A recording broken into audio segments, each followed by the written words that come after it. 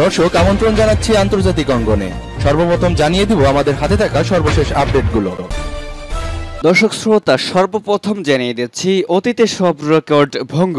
Israel অভিমুখে ছোড়া হলো তিন হাজার রকেট। এদিকে লাশে ভরছে গাজার হাসপাতাল। রেহাই পায়নি ছোট্ট শিশু ইসরায়েল ফিলিস্তিন সংঘর্ষ, আতঙ্কে ভারত। এছাড়াও ঘূর্ণিঝড় তাওকেতের আঘাতে ভারতে নিহত ছয়। এদিকে পারমাণবিক বোমা ছাড়া সব সুজকে পাকিস্তানের চেয়ে এগিয়ে বাংলাদেশ। এখন রয়েছে বাংলাদেশে স্থানীয় নির্বাচন স্থগিত থাকলেও প্রার্থীদের মধ্যে সংঘর্ষ থেমে নেই। ফিলিস্তিনিদের ওপর ইসরায়েলি বিমান হামলা বর্বরতার নিকৃষ্ট উদাহরণ, বললেন G M Quader. Qassem Soleimani ক্ষেপণাস্ত্র প্রদর্শন করল ফিলিস্তিনের কুদুস ব্রিগেড। দর্শক, এখন জানিয়ে দিব বিস্তারিত। ফিলিস্তিনি প্রতিরোধ আন্দোলনগুলোর ক্ষেপণাস্ত্র সক্ষমতা শক্তিশালী হওয়ার বিষয়টি স্বীকার করেছে একজন শীর্ষ স্থানীয় ইসরায়েলি জেনারেল। তিনি বলেছেন, ইসরায়েল গাজার বিরুদ্ধে চলমান সংঘর্ষে এ যাবৎকালের মধ্যে সর্বোচ্চ সংখ্যক রকেট হামলার শিকার হয়েছে। ইহুদিবাদী ইসরায়েলি সেনাবাহিনীর হোম ফ্রন্টের commander major general Ori Gordin এক সংবাদ সম্মেলনে বলেন যে, গত কয়েকদিনে গাজা থেকে প্রতিরোধ আন্দোলনগুলো ইসরায়েল অভিমুখে প্রায় তিন হাজার রকেট নিক্ষেপ করেছে। এর আগে দু হাজার উনিশ সালের সংঘর্ষে গাজা থেকে এত বেশি রকেট নিক্ষেপ করা হয়নি এবং দু হাজার ছয় সালের সংঘর্ষে লেবাননের হিজুবুল্লাহ এত বেশি ক্ষেপণাস্ত্র ব্যবহার করেনি।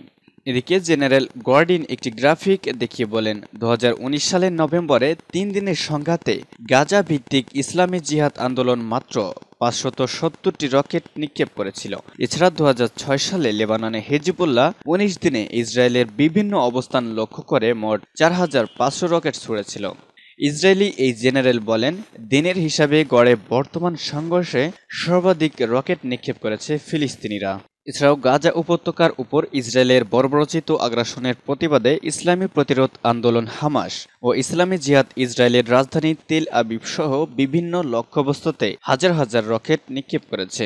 গাজায় ইসরায়েলি আগ্রাসনে এ পর্যন্ত পঞ্চান্ন জন নারী এবং তেত্রিশ জন শিশু সহ একশত আটাশি জন ফিলিস্তিনি শহীদ হয়েছেন এবং বারোশত তিরিশ জন আহত হয়েছেন।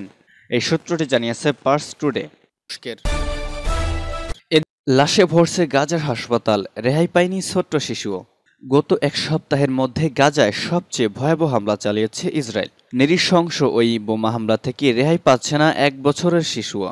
ওই হামলায় এখন পর্যন্ত অন্তত তেত্রিশ জন নিহত হয়েছেন, যাদের মধ্যে শুধু শিশুরই সংখ্যাই তেরো জন। আর সাত দিনে কমপক্ষে পঞ্চান্ন জন নিষ্পাপ ফিলিস্তিনি শিশুর প্রাণহানি হয়েছে। গাজা স্বাস্থ্য কর্মকর্তারা জানিয়েছেন, গাজা শহরের আবাসিক ভবনগুলোতে হামলা চালিয়েছে ইসরায়েল। নিহতদের মধ্যে এক ও তিন বছরের দুইজন শিশু রয়েছে। এরা দুজনই একই পরিবারের সন্তান। এদিকে আল মিরাল এলাকার কাছে চালানো ওই হামলায় ধ্বংস স্তূপের নিচে চাপা পড়ে আছে অর্ধশত মানুষ। উদ্ধারকারীরা সেখানে উদ্ধার কাজ চালিয়ে যাচ্ছে। গত সাত দিন ধরে চলা ভয়াবহ এসব হামলায় গাজার হাসপাতালগুলো লাশের সারিতে ভরে যাচ্ছে বলে দাবি করেছে স্থানীয় সংবাদ মাধ্যমগুলো। ফিলিস্তিনি বেসামরিক প্রতিরক্ষা বিভাগের এক সদস্য। আন্তর্জাতিক সংবাদ মাধ্যম আল জাজিরাকে জানিয়েছে, আমরা ধ্বংস স্তূপের নিচ থেকে চিৎকারের শব্দ শুনেছি। উদ্ধারকারী দলকে সহায়তাকারী মাহমুদ আহমেদ গণমাধ্যমকে বলেন, এটা ভয়াবহ মুহূর্ত যা বর্ণনা করা সম্ভব নয়। টাইমস অব ইসরায়েল দাবি গত সাত দিন ধরে চলা লড়াইয়ে সবচেয়ে ভয়াবহ হামলা হয়েছে। একদিনে সবচেয়ে বেশি হতাহতের ঘটনা ঘটেছে। উল্লেখ্য, সোমবার থেকে ইসরায়েলের গাজা হামলা চালিয়ে যাচ্ছে। সাত দিন ধরে চলা এই লড়াইয়ে এখন পর্যন্ত প্রায় একশত তিরাশি ফিলিস্তিনি নিহত হয়েছে।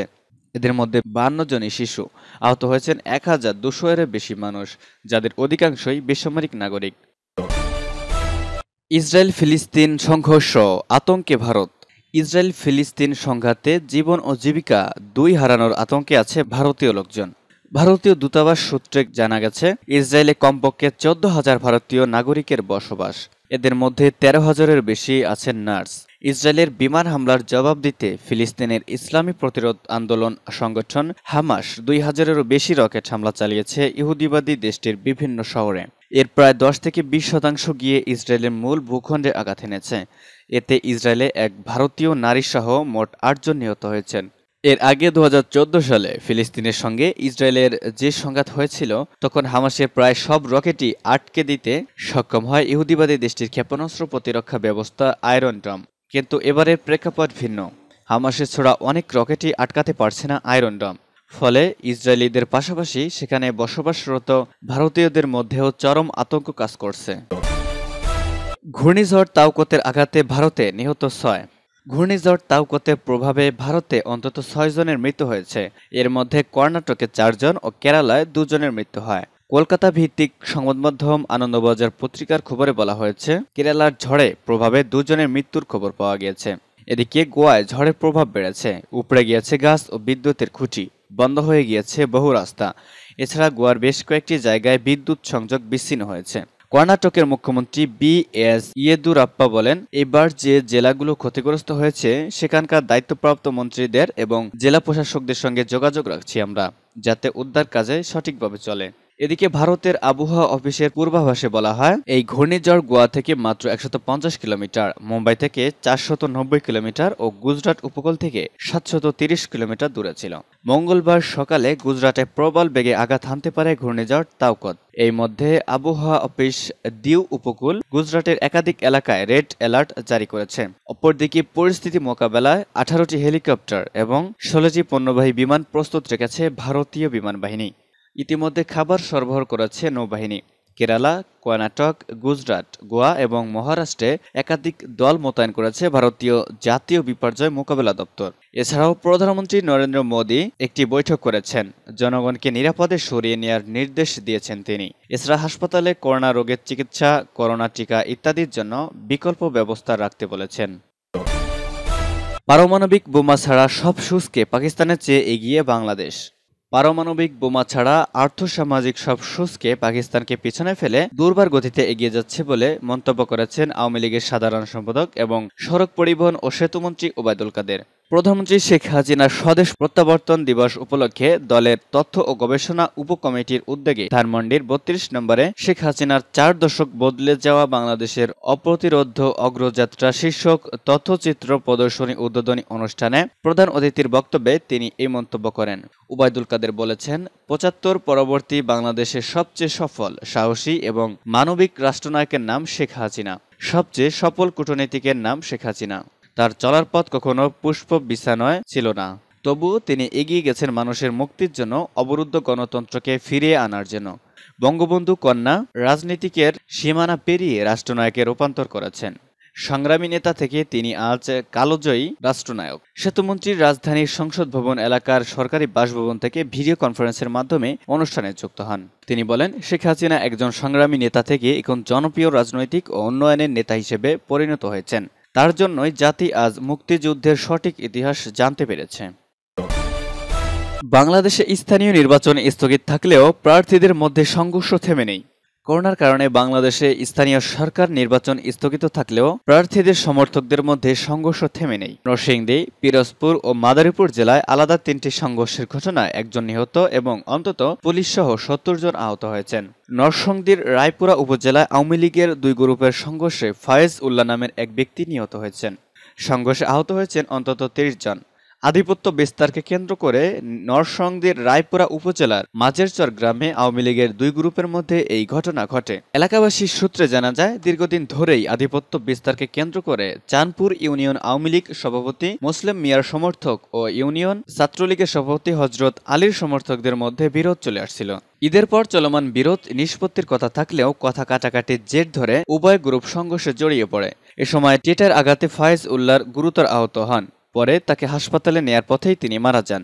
এই সংঘর্ষে দুই গ্রুপের আরও তিরিশ জন আহত হয়েছেন। ফিলিস্তিনিদের ওপর ইসরায়েলি বিমান হামলা বর্বরতার নিকৃষ্ট উদাহরণ, বললেন জি এম কাদের। বাংলাদেশের সংসদীয় বিরোধী দল জাতীয় পার্টির চেয়ারম্যান জি এম কাদের ফিলিস্তিনিদের ওপর ইসরায়েলি বিমান হামলাকে বর্বরতার নিকৃষ্ট উদাহরণ উল্লেখ করে এই হামলা বন্ধ করতে জাতিসংঘ সহ বিশ্ব সম্প্রদায়কে এগিয়ে আসার আহ্বান জানিয়েছেন। এক বিবৃতিতে বিরোধী দলীয় উপনেতা জি এম কাদের বলেন, ইসরায়েলের পৈশাচিক বিমান হামলায় প্রতিদিন নিরীহ ফিলিস্তিনের মৃত্যু হচ্ছে। প্রতিদিন বহু ফিলিস্তিনি মারাত্মক আহত হচ্ছেন। ফিলিস্তিনিদের বাড়িঘর ধ্বংস স্তূপে পরিণত হচ্ছে। ইসরায়েলের বিমান হামলায় রেহাই পায়নি আন্তর্জাতিক গণমাধ্যমের অফিস পর্যন্ত। ফিলিস্তিনিদের ওপর ইসরায়েলি বিমান হামলা সম্পূর্ণ মানবতা বিরোধী বিবৃতিতে জাতীয় পার্টির চেয়ারম্যান বলেন, জাতিসংঘের নেতৃত্বে ইসরায়েলকে নির্বৃত্ত করে আলোচনার মাধ্যমে ফিলিস্তিনের শান্তিপূর্ণ সমাধান নিশ্চিত করতে হবে। তথ্যমন্ত্রীর নিন্দা। এদিকে ফিলিস্তিনিদের ওপর ইসরায়েলি সামরিক বাহিনীর অব্যাহত হামলার তীব্র নিন্দা জানিয়ে আওয়ামী লীগের যুগ্ম সাধারণ সম্পাদক এবং তথ্য ও সম্প্রচার মন্ত্রী ডক্টর হাচার মাহমুদ প্রশ্ন করেছেন। ইসরায়েল কি সকল আন্তর্জাতিক আইনের ঊর্ধ্বে? টুইটারে এমন পোস্ট পোস্ট করে ডক্টর হাচার মাহমুদ বলেছেন, রমজান মাসে এমনকি পবিত্র ঈদ উল ফিতরের দিনেও এবং এর পরেও ফিলিস্তিনিদের ওপর ইসরায়েলের নিরীশংসতা অতীতের সকল বর্বরতাকে ছাড়িয়ে গেছে। এরপরও বড় দেশগুলোর কর্ণধার বিশ্ব নেতাদের নিরবতা মর্ম পীড়াদায়ক সূত্র পার্স টুডে কাশেম সুলাইমানি ক্ষেপণাস্ত্র প্রদর্শন করল ফিলিস্তিনের কুদুস ব্রিগেড। ফিলিস্তিনের ইসলামী জিহাদ আন্দোলনের সামরিক শাখা আল কুদুস ব্রিগেড উন্নত ক্ষেপণাস্ত্র কাশেম তৈরি করেছে। সংগঠনটির পক্ষ থেকে এই ক্ষেপণাস্ত্রের ছবি ও ভিডিও প্রকাশ করা হয়েছে।